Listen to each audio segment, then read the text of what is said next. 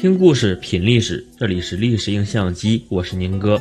秦昭襄王四十七年，秦国派大将王和攻打韩国的上党，结果让人大跌眼镜。面对秦军大军压境，上党没有投降秦国，反而投降了赵国，这给秦昭襄王气得七窍生烟，当即拍板攻打赵国。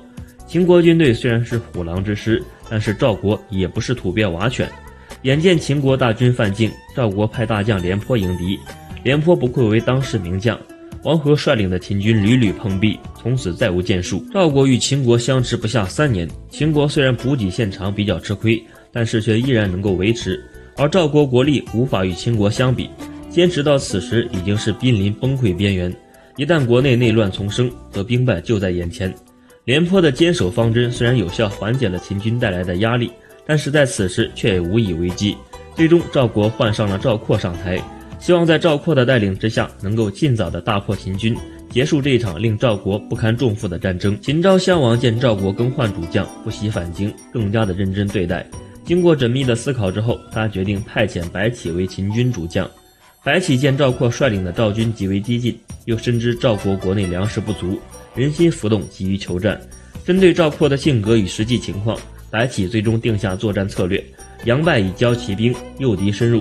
断赵国补给救援，最终将赵国一网打尽。尽管白起的策略看起来可行性很高，但是四十五万赵军不是草包。赵括虽然不济，但是白起也绝不轻敌。且战且退之下，白起派遣骑兵绕过第二道防线，奇袭赵国空虚的第三道百里石长城防线，切断赵军的补给线。此时的赵军已经成为了一支孤军，而赵括却浑然不知，还沉浸在白起给他营造的胜利假象之中，欢快地追杀秦军。而他的前方，白起已经编织好了一张大网，等他陷入。为了完成这一次旷世伏击包围歼灭战，白起将准备几乎做到了极致，甚至连包围之后如何分割歼灭都已经想好了。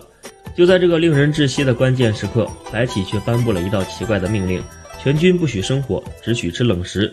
而且秦军士兵最喜欢吃的冷食羊肉一概禁食，都换成冷食牛肉。此令一下，秦军士兵颇有微词，私下里纷纷表达自己的不满情绪。后来，赵国军队陷入秦军的包围圈，击杀了赵国将军赵括，最终将所有赵国四十五万士兵全部坑杀。坑杀之时，对秦国士兵说：“那天夜里，他之所以能够发现有人偷吃牛肉，是因为他在很远处就闻到了羊肉的膻味儿。如果全军将士都吃羊肉，膻味儿会飘得更远。如此一来，埋伏赵军不成，恐怕还会兵败长平。”今天被坑杀的可能就是你们了。听罢，秦国士兵恍然大悟，这才知道自己的这位统帅并非草包，他们的将领原来大有深意，真是太高明了。